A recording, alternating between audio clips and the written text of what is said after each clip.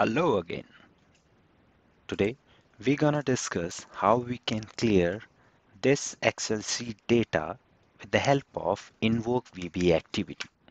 So for that first we will create a process and we'll give it a name invoke VBA.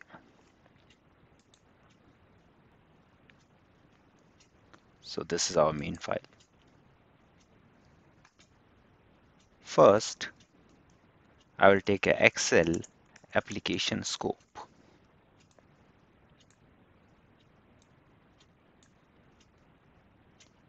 And I need to give a path of that Excel file for which I want to run this VBA code. So this is the path. Now I will disable this thing so that it will not create a new one if I don't have the Excel file over here.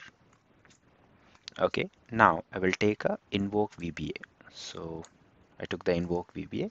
The invoke VBA required two inputs. The first one is the VBA file and the second one is the function or subroutine. So for that I will create a text file and give it a name VBA code. You can give any name over here now I have to write my subroutine or you can say function. So this is my VBA function.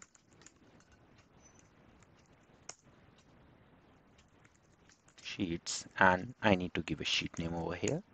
So which sheet I want to clear? This sheet I want to clear. So I will copy the name and paste it over here.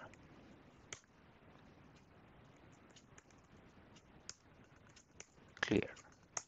And now I need to end this subroutine or you can say close the function. Save it control S and close it. Now I need the file. So I hope it will be visible. The file will be visible over here. Yep the file is here.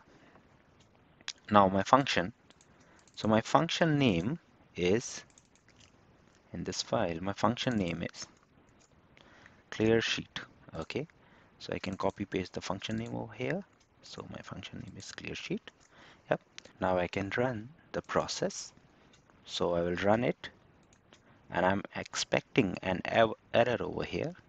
Yep this is the error. So if you also getting this error that means what you need to do is you need to close your excel file first open your excel application. Go to your options. Trust center click on trust center setting click on macro setting and you need to enable your trust access to the VBA project object model and just press OK. OK and close this Excel. Now you can see this is my Excel file once I run this process okay so you can see it has cleared my sheet without deleting my sheet. Thank you. See you next time. Bye bye